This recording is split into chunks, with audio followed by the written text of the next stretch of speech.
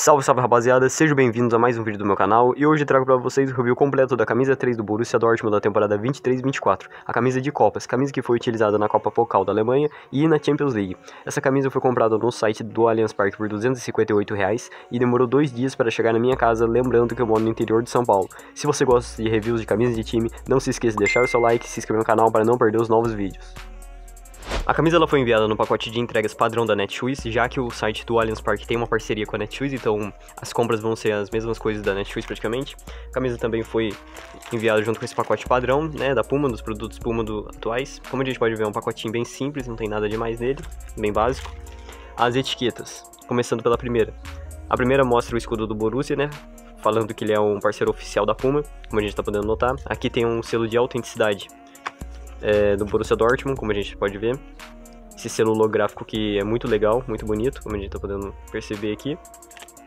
A segunda etiqueta vem falando sobre a tecnologia Dry Cell da Puma, né, a tecnologia utilizada no tecido Puma, que é, é uma tecnologia muito boa, bem gostoso de usar assim. A terceira etiqueta é a mais importante. Aqui vem falando sobre questões dos materiais recicláveis, né? E atrás dela vem o código de autenticidade que sempre falo nos meus vídeos, que quando você pesquisa esse código no Google, você consegue comprovar se a sua camisa de time é original ou falsa. O Borussia Dortmund, juntamente com a Puma, trouxe para a temporada 23-24 uma proposta de camisa muito diferente. A camisa ela possui uma proposta retrofuturista, onde ela mistura elementos do passado com elementos para o futuro, né? E, no geral, o design da camisa consiste por gráficos geométricos formados por chanfros sombreados. A gente pode ver esses desenhos, né, por uh, aqui na parte da camisa mesmo. E todos esses desenhos são parte desses gráficos. E é uma camisa bem diferente, bem legal, vista pessoalmente, bem diferente das camisas atuais que a gente vê de outros clubes e até do próprio Borussia. É uma camisa que realmente tem um um, design bem, bem único assim e marcante. Essa camisa aqui, ela é uma camisa que vai ficar marcada também pela final da Champions League, onde o Borussia foi vice-campeão, e por ser a última camisa do grande ídolo do Borussia, né, o Marco Reus. Sobre os detalhes, começando pelo escudo do Borussia. O escudo do Borussia a gente pode ver que ele vem embordado aqui na parte de fora e nas estrelas, né? É, a parte interna dele vem com o BVB 09 aqui num material totalmente diferente. A gente pode ver que é um material que ele é um pouco mais brilhoso, não é um bordado, é uma espécie de borracha, sabe? Ele é um emborrachado colado aqui, muito bonito e achei bem interessante essa mistura de elementos, né, da, da costura, né, do, do bordado com a borracha. Não sei te dizer se isso aqui vai durar bastante tempo, mas aparentemente vai durar sim por conta de ter uma qualidade excelente. Na parte interna do escudo, o acabamento é impecável e não incomoda em nada aqui no logo da, da Puma é excelente também, não tem que reclamar, não tem nenhum erro. Realmente é um logo extremamente bem acabado, na parte interna dele é a mesma coisa. O logo da Puma também aparece aqui nos ombros, né, seguindo o mesmo padrão de qualidade do logo no peito, né, como a gente está podendo ver. A camisa possui uma gola estilizada, né, de uma maneira diferente, a gente pode ver que ela vem no formato, é uma gola que ela vem no material é, bem gostoso de usar, bem macio. Lembra um algodão.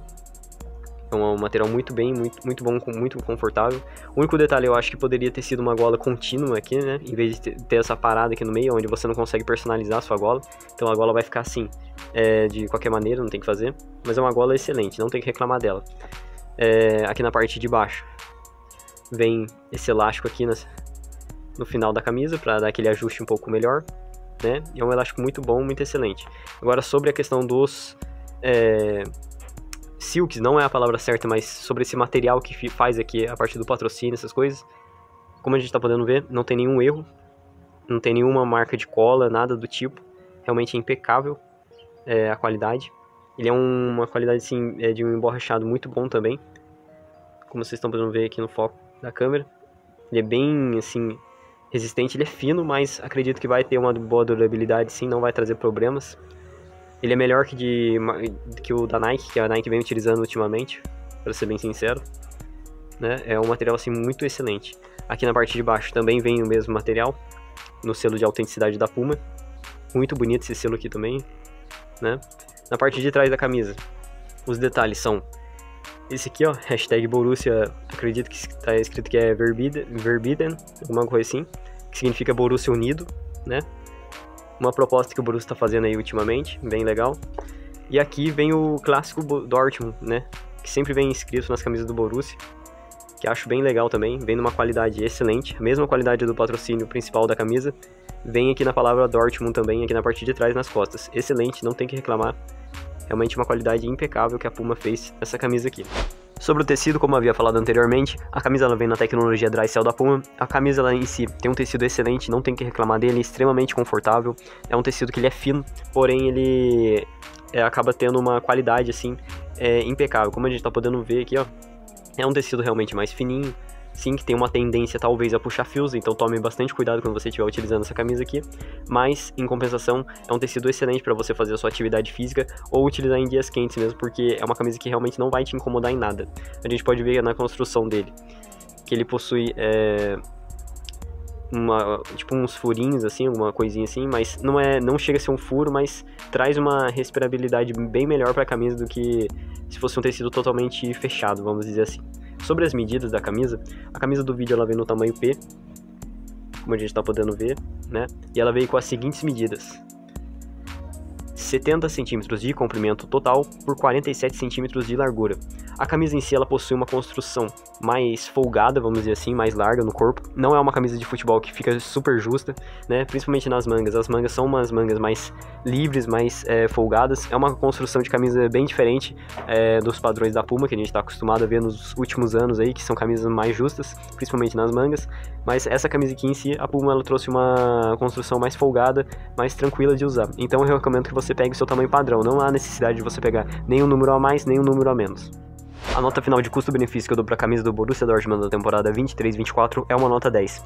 É uma camisa que, apesar do preço cheio dela ser muito alto de 400 reais, é uma camisa que vale a pena você ter ela por conta da, da história que a, o Borussia fez né, durante essa temporada 23-24, que apesar de não ter ganhado os títulos, foi uma temporada bem marcante pro Borussia, e principalmente por conta do design dela, que é um design extremamente único, que você não vai ver no dia a dia e que tem um potencial muito grande de se tornar uma raridade essa camisa aqui, por conta de ser uma camisa até realmente difícil de você achar na internet.